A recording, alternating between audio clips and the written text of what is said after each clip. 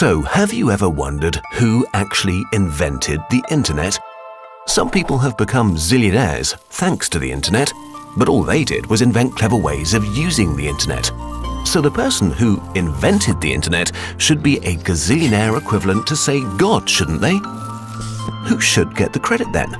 Was it a British geek in a Swiss underground lab? Maybe. Clever Americans threatened with nuclear annihilation by the Russians? Nice idea. French scientists who decided to call their computer network the L'Internet. Interesting. Or was it thanks to a myriad of smart scientists working on something they knew was useful but didn't realize would be so big?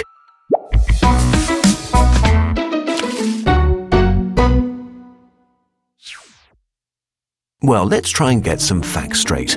There's the internet, a whole bunch of computer networks connected to each other, and then there's the World Wide Web, a way of making it easier to share information using all those interconnected computers.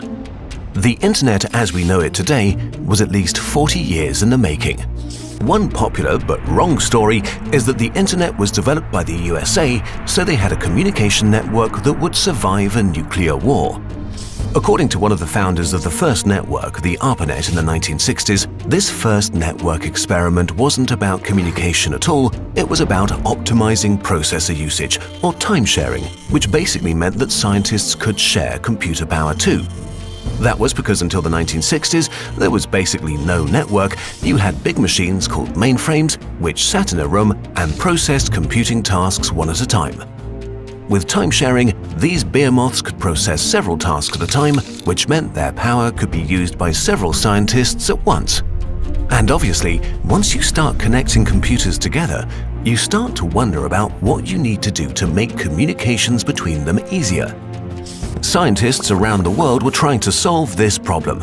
So let's look at some of the other key concepts that were developed elsewhere. Starting with packet switching. In Britain, there was a commercial network developed by the National Physical Laboratory, but which never really got off the ground because it didn't get funding. But they did come up with the idea of packet switching, a way of avoiding congestion in busy networks by cutting up data at one end and putting it back together at the other. The French also played a role.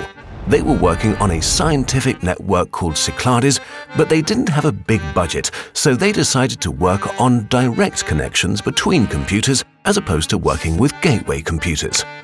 Now, as an aside here, this admittedly isn't very scientific, but according to one theory, a spin-off of their research was the word Internet. But you don't have to believe it if you don't want to. So now it's the early 1970s. There's quite a lot of computer infrastructure, but communication is awkward and patchy because different networks can't talk to each other. TCP/IP solves this problem. The TCP/IP protocols form the basic communication language of the Internet, which labels the packets of data and makes sure that even though some pieces of the same data take a different route, they all arrive at their destination and can be reassembled.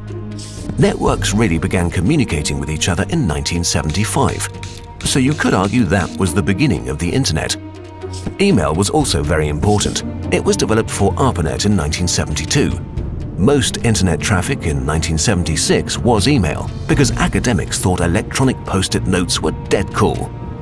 With networks that could talk to each other, communication was becoming easier. But all this communication was just text-based, and it was pretty ugly to look at. In the 1980s, a Brit called Timothy Berners-Lee spent time with CERN, the European Organization for Nuclear Research, where physicists are trying to work out what the universe is made of. He wanted to manage the scientists' information and make it possible for them to share and interconnect their work easily, making progress more likely. He did so by inventing an interface using HTTP, HTML, and URLs that made internet browsers possible. He called his browser the World Wide Web. So he didn't invent the internet, but he did invent the web. The first ever website which he created was at CERN in France in August 1991. So, once the initial infrastructure was in place, the key technologies had been invented, internet message boards exploded in the 1980s, the phone companies saw the commercial potential of digital communication, web browsers spread like wildfire in the early 1990s, and ordinary people discovered email, Then, the internet expanded rapidly and steadily and became workable for the masses from about 1995. Hold on, didn't US Vice President Al Gore invent the internet? Ah, uh, no. And if you read what he said exactly, you'd know he never claimed to have done.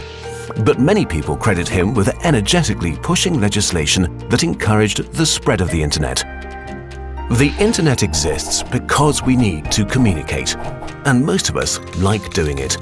That's why humans have become the dominant species on Earth. You could argue that the internet is a natural evolutionary step and a manifestation of that need. It wasn't invented by anyone in particular, but when the building blocks were put together by all those cool scientists from all over the place, the internet became a communication tool, a retail tool, a research tool, a propaganda tool, a spying tool, a shopping tool, a dating tool, an entertainment tool, and a way of skiving off work while making it look like you're working or studying, which is what you may be doing now. Ultimately, though, you're communicating, especially if you leave a comment, and that might make you a better human being.